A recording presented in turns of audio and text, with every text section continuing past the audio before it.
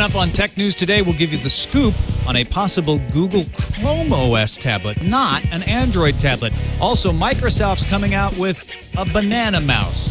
We'll explain. And not one, but two double rainbow illusions. Double, double rainbow illusions. What are they two? Netcasts you love. From people you trust. This is Twit. Bandwidth for Tech News Today is provided by Cachefly at C-A-C-H-E-F-L-Y dot com. Hey everybody, Tom Merritt here. We had a little problem with the recording of TNT, so if you notice that the quality isn't so good, it'll get better. About 15 minutes in, we get to the real recording. We had to do a little flim flammery capturing sort of thingy. So our apologies, but at least we got the whole episode to you. We weren't even sure if we could get that. So please, thank you for your patience. Enjoy.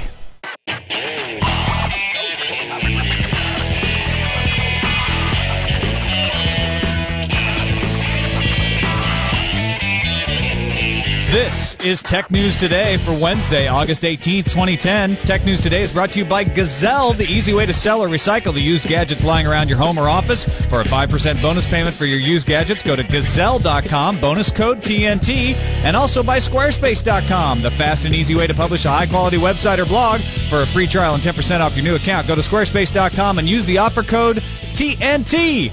Welcome to Tech News Today. I'm Tom Merritt. And I'm Becky Worley. And on the boards is our producer, John Slanina, a.k.a. Jammer B. Hello. How's it going? Eric is in the Chamber of Secrets today. they've, got, they've got him editing something terrible. You made it secret. sound exciting, like he was up there with Hermione or something. He is. He's defeating he who will not be named. oh, Voldemort. or Voldemort. Some people know him as Voldemort. All right. Uh, did you notice my voice broke when I tried to say his name? You did. It was your cursed. Google is going to launch a Chrome OS tablet on Verizon on November 26th, according to sources of the Download Squad blog. Sources. Unnamed sources. And that date, just in case we were wondering, to continue our nefarious theme, that's Black Friday, the busiest shopping day of the year. Oh my gosh. Viernes Negro? Sí. That's like my prom day. Like that is the big shopping day and the biggest um, for for really gadgets. So I mean, it's interesting that they would drop their product if this rumor is true on that date. Um, what's the marketing strategy there? Well, the, But marketing, bigger- yeah, yeah. The marketing strategy there is let's let's get people to buy them instead of the iPad because it's difficult.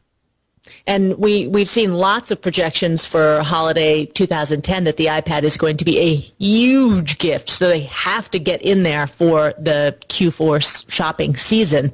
Um, but Chrome tablet on Verizon, and one of the rumors in here was that it would be obscenely subsidized, even free. You buying that?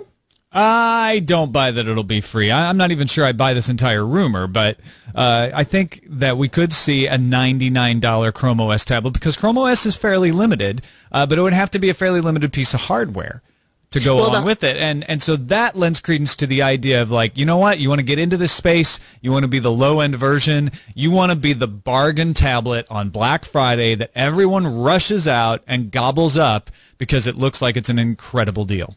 Well, if this, the rumors to be believed, the specs on the hardware is pretty impressive. Let me read this off to you. It says uh, 1280 by 720 multi-touch display, 2 gigs of RAM, minimum 32 gigs SSD, Wi-Fi, Bluetooth, 3G, GPS, get this, webcam, and possibly expandable storage via some sort of multi-card reader. I mean, that's a lot of that's a lot packed That is- into that a is the- low-cost tablet. speculation of the download squad blogger though that doesn't even come from the sources so That's a spec speculation. yeah that's put the put the spec in speculation definitely I think you're right. uh, also chrome web store coming in october according to a presentation at the game developer conference in europe oneup.com has a report out with pictures and video of google's mark deloura and michael mahemoff explaining how developers will be able to submit apps to the store which was announced back in may this is the this is the thing that I still can't wrap my head around why you would need. But I guess in Google Chrome OS, having a little store where you could go and install applications wouldn't be such a bad idea. Uh, Well, And what may drive it is this little behind the scenes nugget. The, it said they're only going to charge developers a 5% processing fee as opposed to the 30% cut from, say, an Apple store. Yeah, so, so it's 5%. That's a big difference. 5% off instead of 30% off really encourages you to make an app for this, but they're going to have to have an installed base of people using Chrome OS if you really want to get into it. So that lends credence to the idea of a Verizon Google Chrome tablet of some sort coming out in late November. Because if they open up the store in October, that then they start getting it stocked uh, so that they have a bunch of applications in there when the pad actually launches. But I do have to travel this well-traveled path on the issue of Chrome versus Android. I mean, really, a Chrome OS pad? Um, it just seems to me like this is weird marketing that you would segment your user understanding of your product when you think that the average consumer, they're like, it's they still think of Android or the Nexus One as the Google phone. And so if you ask them to try and understand Android versus Chrome, why are they splintering this market? I don't get it. I, I used to be when Google first announced Chrome OS, I thought, oh well, you know, Android is for is for phones and and having another operating system for tablets is not such a bad idea. Apple tries to pretend like it's one OS, but really because when you come out with for instance, iOS 4, and it doesn't go to the iPad, the iPad gets 3.22 or 3.23. It shows that these aren't exactly the same operating system. I get that, but people have been making more and more Android tablets, and you can definitely have various flavors and implementations of Android. So I'm not certain. St- I, I'm still a little bit I'm starting to be a little bit less clear about why you need Chrome OS, but I do understand that it's a different animal. It, it is a an operating system within a browser, and it's meant to be very limited. Whereas Android is more like a traditional operating system where you install applications uh, and and you you do not have everything working on the web. Uh, Chrome OS works every, everything in the browser, whether it's on or offline. It's just essentially a big browser. So I I don't know. Dr. Trafiki in the um, in the chat room says just call it Crandroid. Like at a certain point, it's they're all going to meld. What's the point? Yeah, exactly. All right, Verizon has a uh, a new iPad app they're talking about putting out. According to NewTeeVee, it would allow FiOS subscribers to watch the same linear programming that's available on their TV screens on the iPad. Catch is you only get to watch it in your house when you're on your FiOS connection. So you're out and about and you're in some other Wi-Fi network and you can't watch the TV that you're already paying for at home. What I want to know is if I subscribe to FiOS TV and not FiOS Internet, is this iPad app not going to work for me? Yikes. I mean, okay, let's just try and play devil's advocate here. All right, so this is a, an add-on, and maybe the app is going to be free, and they're saying, hey, you know what? If you're paying for it home, we'll basically let you use your iPad as sort of like another TV. You can take it out in the garage since that old analog one doesn't work and pick up uh, over-the-air signals anymore. But I think they're actually going to engender more um, sort of backlash than goodwill by doing this because people will see that it's just them limiting the fact that they can't watch when they're out in other Wi-Fi networks. Yeah, it's kind of I, I, I don't know. I'm more impressed by the HBO announcement. Uh, HBO has been in the news for not being able to come to an agreement with Netflix, but they are expanding their own offering. So if you're a subscriber to HBO, you can watch shows. Uh, I think it's some 800 plus shows on the web on your desktop or your PC or your laptop. They're going to come out with an iPad app as well, so that you'll be able to watch the HBO shows on your iPad. Not not that big of a deal, but that that's more impressive to me somehow than being able to watch linear Verizon stuff when I'm home on my Verizon Fios that I can't get because I don't live in that area. But even if I did, versus the HBO app, which I can watch in a hotel or on a plane or wherever I go.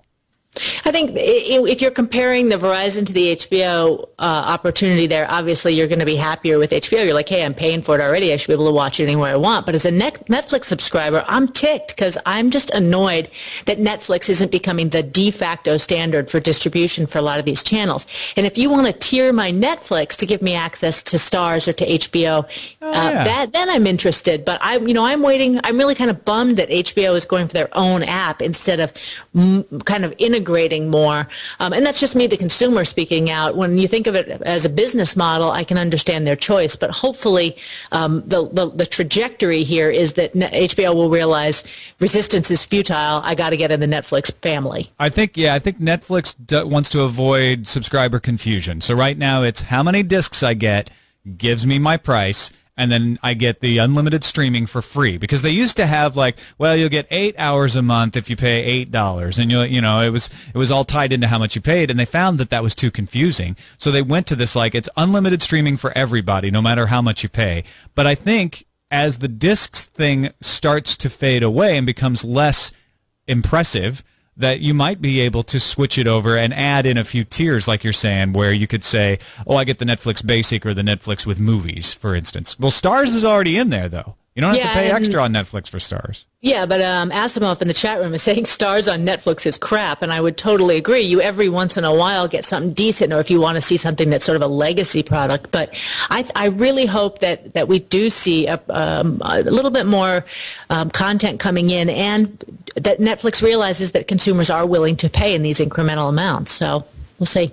This episode of TNT is brought to you by Gazelle. If you've got some old gadgets lying around, and believe me, I have a garage full of them right now uh, smartphones, MP3 players, laptops, old speakers, gaming consoles. Uh, we know you've got those too. So here's how you get rid of them without the hassle. My problem is I'm sitting there thinking, oh, I got to go list it on eBay or something or Craigslist, and then I have to answer calls. Gazelle is a much easier way to sell your stuff, and you get a good price for it too. I took my iPhone the other day. I went on to Gazelle.com. I looked it up. I got the price. I said, yes, I want to sell it. Here's the condition it's in. They said, do you want to print out a shipping label now, or do you want us to send you a box? I said, I'm extra lazy today. Send me the box.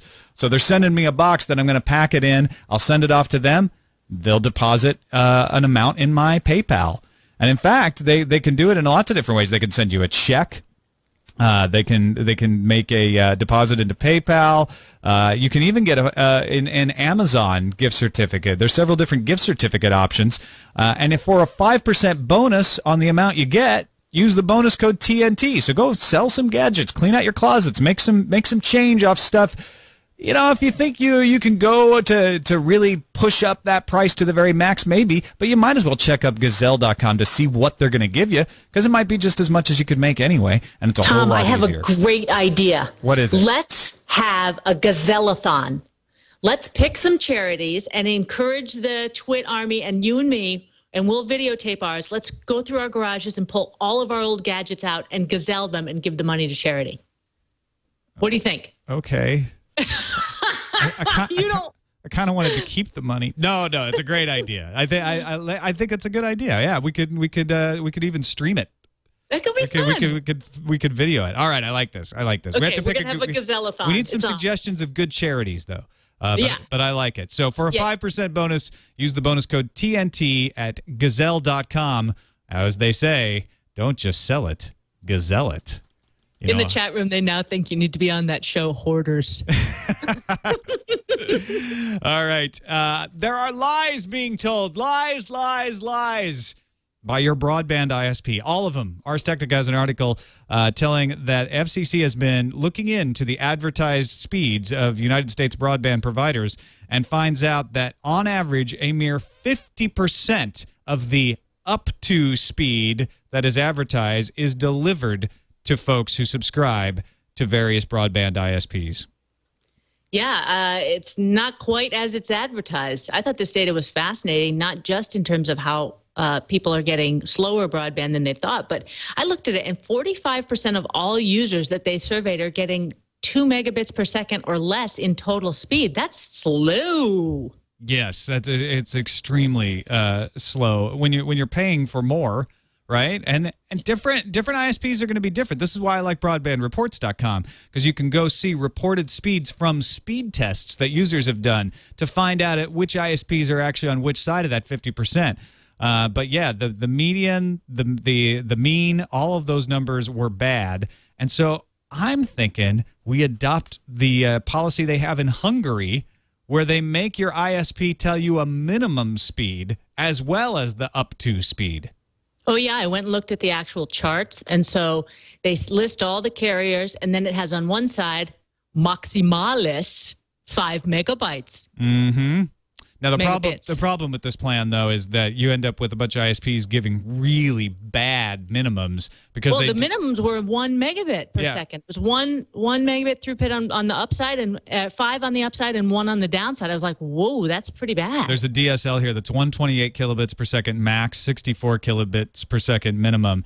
And and the reason they do that is they, they don't want to ever get caught going under. So they're going to set that that lower speed as low as possible, but at least you get a fair idea of what this uh, company may be capable of, right? Oh, okay, well, that's your philosophy, but I have a different philosophy. I think that all advertisements for broadband should carry the same um, warnings and disclaimers that all of the drug ads do on TV. That they have to have that like legal disclaimer. So I wrote mine. This is what would come after the broadband. sweating and Ready? If you live less than 27 yards from the backbone central router, you may get the advertised speeds. Actual speeds may vary. You may get as little as 56K downloads. Please consult a Geek Squad member if you feel that you are not getting any actual throughput at all. If your erection lasts more than four hours, please consult a physician. wait, that what was the last one. that doesn't have anything to do with broadband speed, does it? I'm just saying. Besides, that's hard to read. But you know, I, I was just that was my tryout in case they well, actually you know, the the uh, the uh, the pharmacies now, the pharmaceutical companies, they do it slower. They don't do the fast read anymore. They do the like very nice pictures that distract you from the fact that they're talking about anal leakage right now, and you see butterflies, and and uh, you know, it's like, wait, wait, what did they say? Oh, I'm seeing butterflies. I don't care.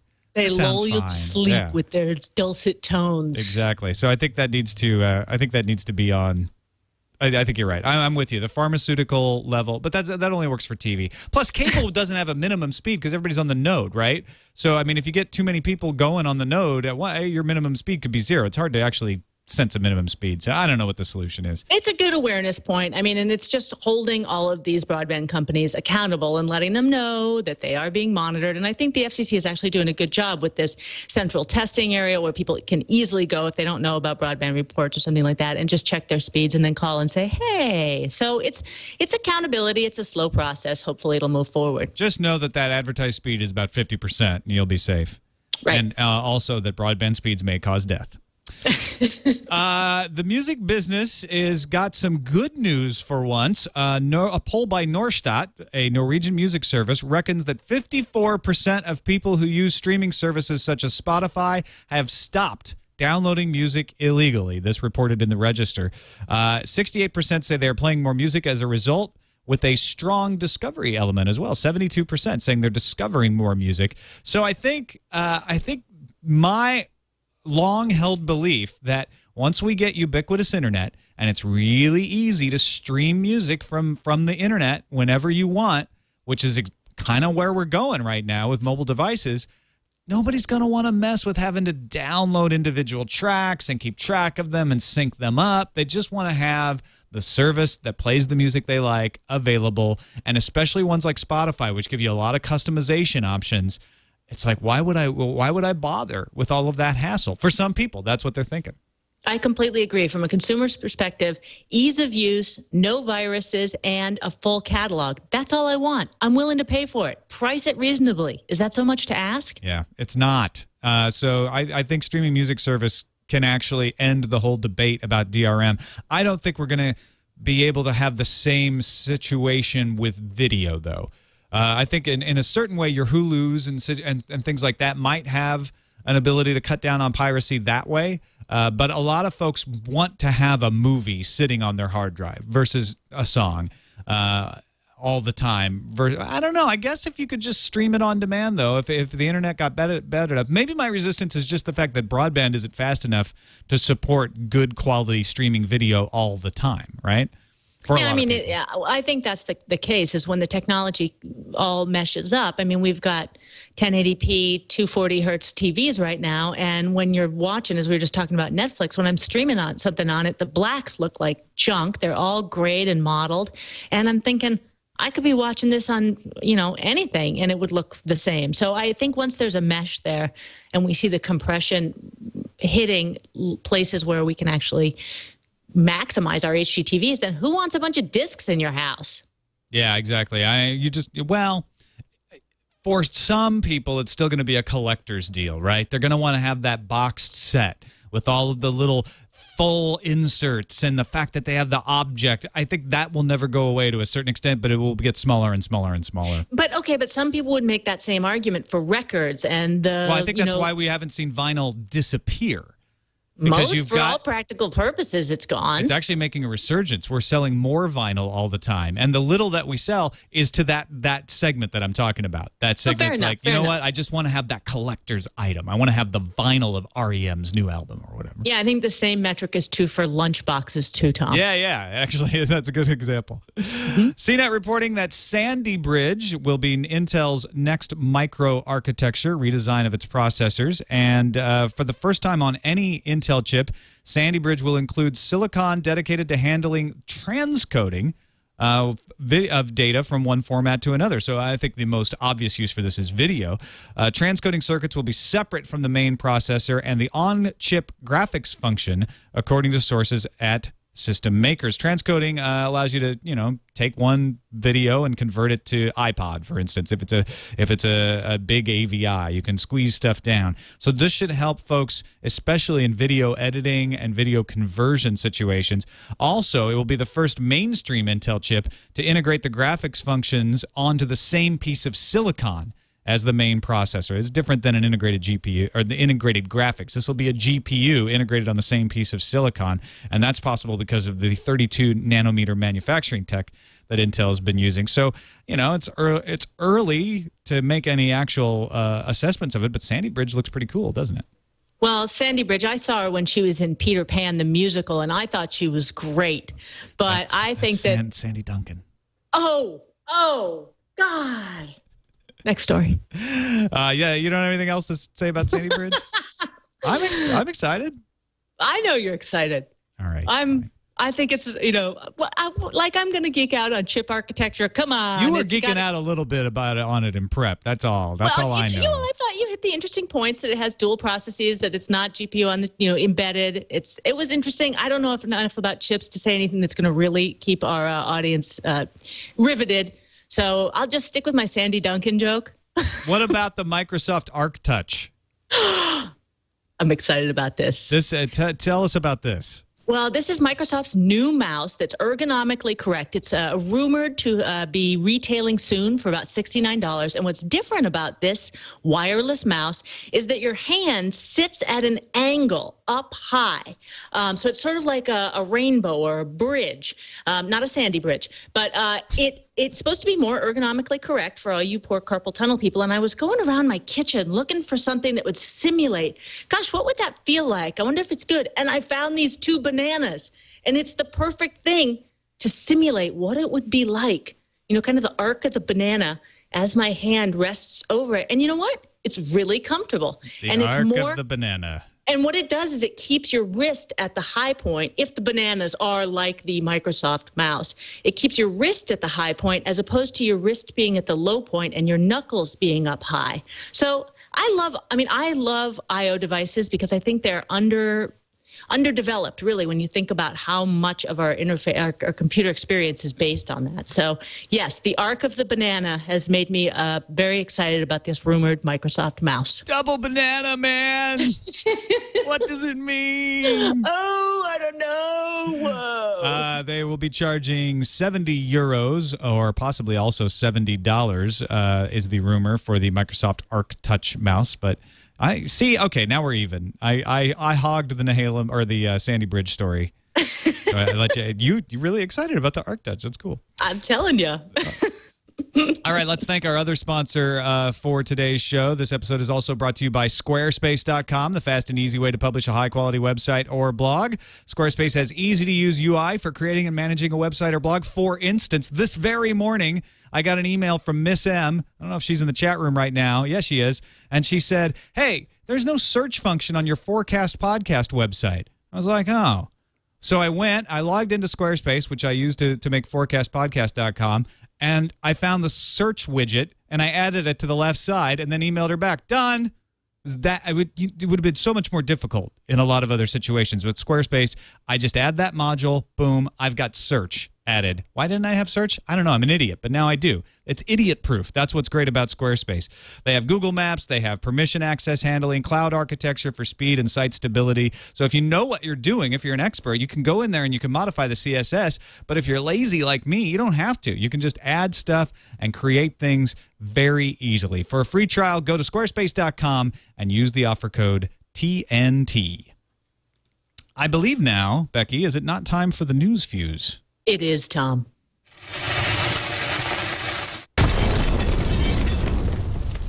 Canonical announced today that the next version of Ubuntu after Maverick Meerkat will come after Maverick Meerkat comes out in October will be called Natty Narwhal Ubuntu 11.04 scheduled for April 28th. ARM compatibility, design refinement and improved graphics hardware support will be priorities for the Narwhal.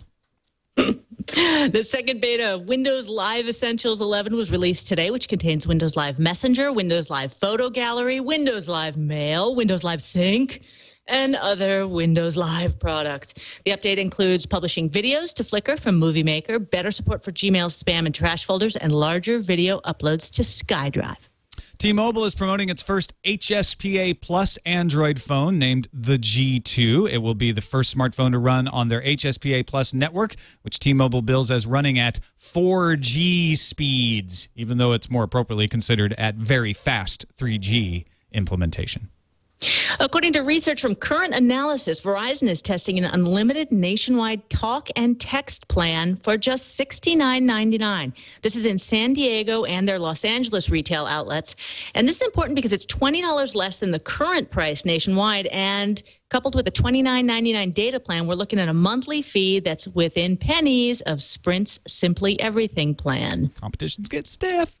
Microsoft's Flight Simulator is set to make a comeback. The sim is in its early development stages with an alpha version nearly ready for internal testing, according to Kevin Unangst, a senior director in Microsoft's game unit. Also, Age of Empires is coming back as an online game. Age of Empires Online is further along. The company is now taking signups for a public beta set to begin later this year. Apple has been awarded two patents that are prominent in iOS 4 the slide to unlock feature and the pop up letters that appear when you're typing on the keyboard. Apple applied for the patents two years ago, and having used Microsoft's Kinect, I wonder if this is going to be a challenge to the way that Kinect starts. You have to actually reach your hand across uh, the playing field, the screen, and zip to, st- to start the game. It seems awfully similar, but hard to know if the touch interface will be the distinguisher there. Right. I, th- I think that that's the interesting thing is that this gives them a patent on the graphic layout. I think it doesn't pass the obviousness test. Like, really? A sliding something to unlock? Uh, because it's graphically represented instead of the millions of ways we slid things to unlock things in the past. I don't see how they grant this, but they did. Uh, so I, I, I don't think Apple will go after Microsoft. I think even if there is a, a, claim of something, it'll be one of those background like you sue us, we'll sue, sue you, so nobody gets sued sort of things. patent wars. Don't uh, want to get in the patent wars. Mm-mm. All right. Uh, finally, we got a few uh, funnier stories here. Uh, looks like someone jailbroke Justin Long's iPhone uh, he was on uh, uh, which one was he on? Jimmy Kimmel. Kimmel. Yeah. yeah, Jimmy Kimmel. He was on Jimmy Kimmel, and they had his iPhone hooked up to a big screen so that you could see it. And if you if you look at the uh, Engadget story, they have a great screen capture where you see the Cydia app sitting there right on the screen. Although it looks like Cydia and a TV out uh, app were are in the position they would be if they had just been installed. So the guess is probably a producer backstage said, "Oh, we want to be able to show your iPhone." On on the big screen. So let me jailbreak it really quick so we can do that. And Justin Long, for those of you who don't know, is the Mac guy in the Mac versus PC commercials. So the fact that he gets paid by oh Apple and then he jailbreaks his phone. And it was actually for a really good reason. He was showing this hilarious text conversation he had with this teenage girl who texted him thinking he was someone else. And I, you, it's worth watching because it's just a classic um, portrayal of tween teen culture today. But it, he had a good reason. But you got to wonder, uh, is he going to get in trouble with Steve? I don't know. Apparently, his contract is uh, is no longer valid. That they they've pulled the plug on the "I'm a Mac, I'm a PC" ads. So he's mm. I guess he's free to jailbreak away now. Voided his warranty though. Yep. He could sue that producer at Kimmel. voided my warranty, man. Dude. Also, uh, in other Apple news, uh, Philip Shoemaker, the director of applications technology at Apple, he's the guy that oversees the approval of App Store apps. Uh, it has been revealed operates a company named Grey Noodle that puts apps in the App Store. What kind of apps does he have?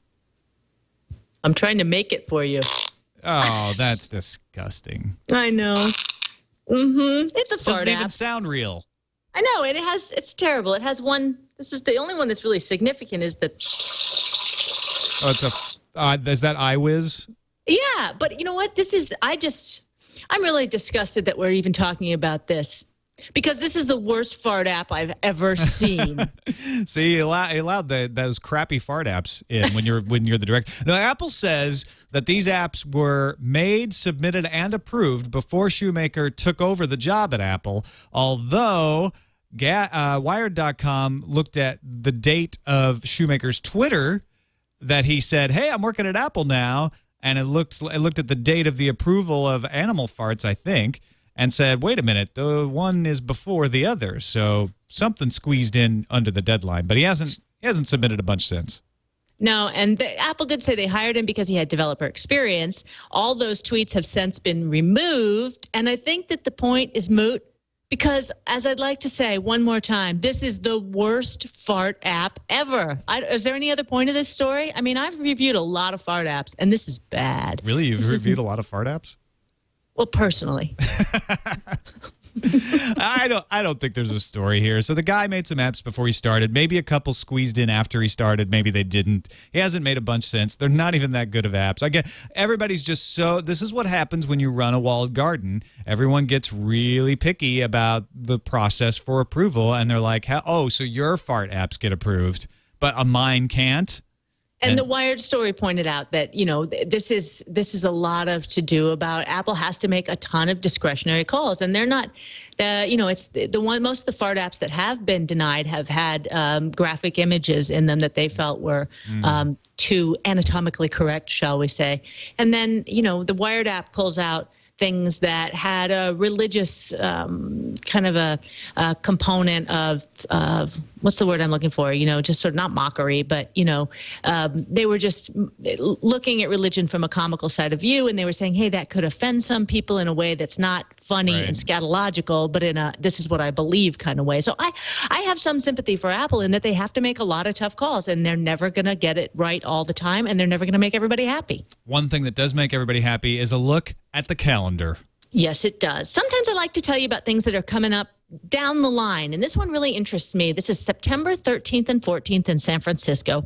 It's App Nation. It's the first global conference and exposition to focus exclusively on fart apps. Just kidding. Oh wait. Uh, it will cover social and mobile apps across all devices and platforms.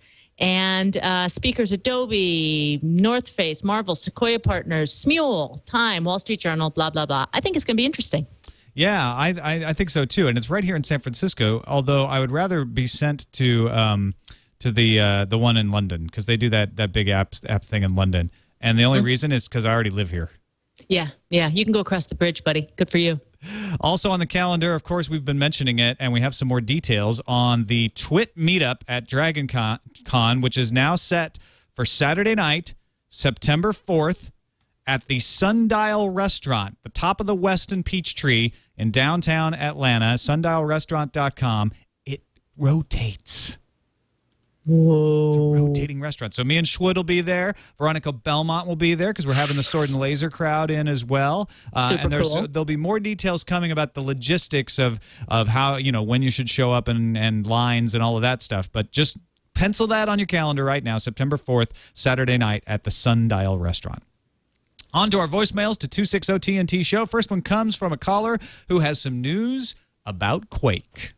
How you doing, guys? This is Dave. Uh, just wanted to say you guys got a great show, and uh, listening to your show yesterday about the God Squad, um, I think I got a solution. Um, if he painted his car paisley and wore bell-bottom shoes, perhaps he could get away with using the God Squad in that manner. That's all. Bye. That's actually Dave, uh, who has the solution for the God Squad. Uh, Mod Squad. We got a, we got a several emails suggesting the same thing. I think you're just inviting another copyright suit, though. I don't know. I, I love the this fashion story. police. Uh, yeah, that's possible. The bell bottoms would attract attention. Um, I love this story so much. First of all, my big question is what's with the uh, religious in Wisconsin? Because I don't know if you remember this, but back in the Tech TV days, they sent me out there to go cover a group of monks who felt that their calling in life was to refill inkjet cartridges. Oh, those monks. See, now I thought you, you when you were talking in the pre-show, I thought you were talking about the monks that were in the copier commercial. Like No, back in the are- 80s. No, I know what you're talking about. It was like some some monks brew beer, some monks Mm-hmm. grow gardens. These monks refilled inkjet cartridges. It was the strangest thing, and it was super popular. It got so huge that they had to outsource it. It was massive. But, Yeah. you know, I'm not sure that would be my religious calling. I'm just saying. Hey, it's it's cool though. I like the innovation. I like you know trying different ways of of, of spreading the word. That's uh, That's right. I'm digging it. All right, now we'll get to our caller who has some news about Quake. For those of you still wondering, what's the news Hey, about Tom Quake? and crew. This is Jose from Florida. Um, just wanted to let you folks know, if you don't already know, uh, Quake Live Beta is no longer Quake Live Beta. It is just Quake Live, and they have two um, programs that you can uh, sign up for: Premium for $1.99 per month, or Pro for $3.99 per month. So check it out, guys. Thanks. All right, good good tip. Thanks, Dave. I like the I like the news tip there. That's cool. We'll take all news tips. Yeah, absolutely. Yes. On to the email to TNT at twit.tv. Our first one comes from Theo. Says regarding Wi Fi and health, Tom, you basically got it right. But for a detailed discussion about where the science is at at the moment and the plausibility of Wi Fi posing a health risk, I strongly recommend this blog entry by neurologist Steven Novella. Uh, Steven Novella is great. He's a really good writer, really good scientist. If you go to theness.com slash neurological blog or look in our wiki at uh, wiki.twit.tv to the, in the Tech News Today entry for this show notes, uh, you'll be able to find a link to this where he really goes through like, here are the studies that have been done. Here's what has been shown. Here's what we don't know. Here are the actual risks, and here is how we should evaluate the risk benefit analysis. And, and he makes the point as a scientist that there are always risks and there are always benefits. And the, and the question is, how much risk do you tolerate? And I, Yeah. yeah. So I mean, and then and and I he comes to the point that this is a tolerable risk. But take take a look at it. It's good good writing. I'm willing to accept that risk given that I have about four routers within my immediate range. Well, the, the big the big thing that he points out in his in his blog posting is that they have done several blind tests and have never been able to show that someone in a blind test can tell that the Wi-Fi is on. And Wi-Fi is is is so much lower radiation than cell phone radiation, which is where we have all the fears, right, of whether there's cell phone radiation going into our heads when we hold the phone. And he's like, Wi-Fi is so far beyond that, below that, that if this, if cell phone radiation next to the head is in question, and it looks like it probably doesn't have an effect, Wi-Fi radiation risk is so much less than that. Next email from Jason. He's in Rochester, Go Central New York. Uh, the guy from Navy from the Navy on yesterday's show did have a good idea about randomizing the keypad for security reasons to prevent smudge attacks. However, that would not work on Android phones. The unlock screen is just a bunch of dots, so you can't randomize them. They all look the same. Of course, maybe they do randomize them, and no one knows. It is Google. Uh, I believe the best security feature would be to require that at least one dot be used twice in the pattern. They have a strength meter on their passwords. Maybe they need to consider a strength meter for unlock patterns too, or keep a chamois with you at all times.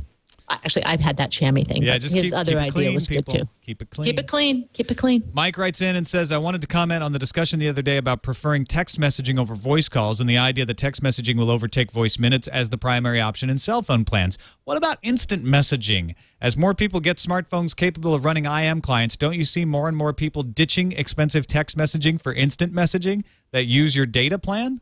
Of course, now they're putting caps on data, but Well, see, cheaper. here's see. I thought this was going to happen. I guess it was about two or three years ago, and I text message a lot of people in the UK. I have a lot of friends and family there, and I thought, you know what? If we just all installed the same Yahoo Instant Message client on our phones or some Instant Message client, then we would all just do that, and we wouldn't incur any text rates. But the problem is, I know this sounds so stupid, but interoperability. Um, and if you have different clients and you got to get everybody on the same one and you got to download on their phone, text message is all interoperable, no issues. Just pay for it. Well, I, I mean, there are things like Beejive and Meebo that allow you to be on all of the different IM clients at once, right?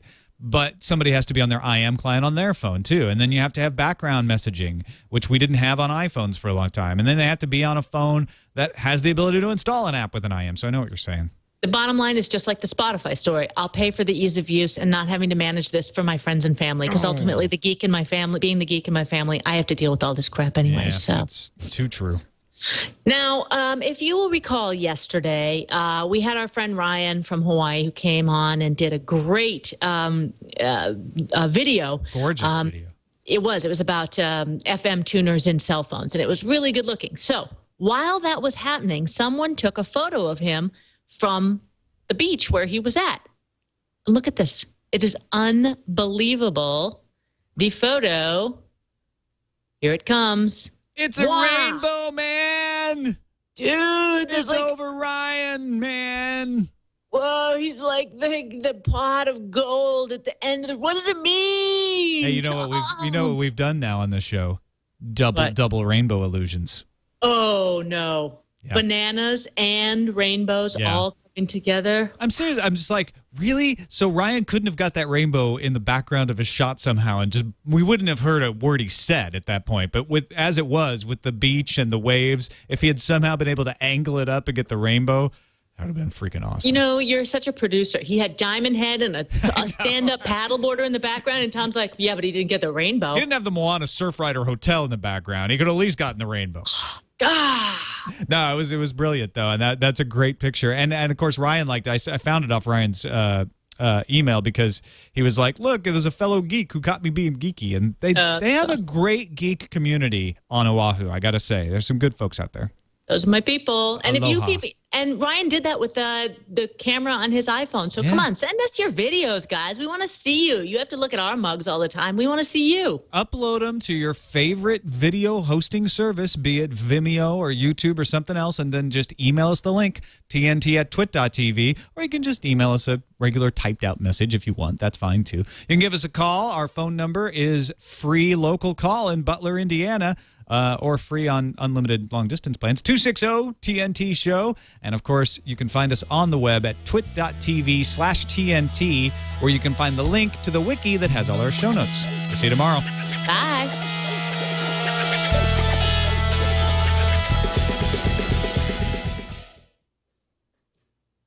Well, the music stopped. You faded out so quick.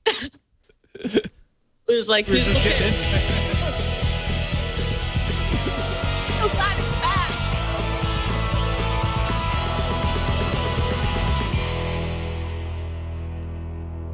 What got into us today? I don't know.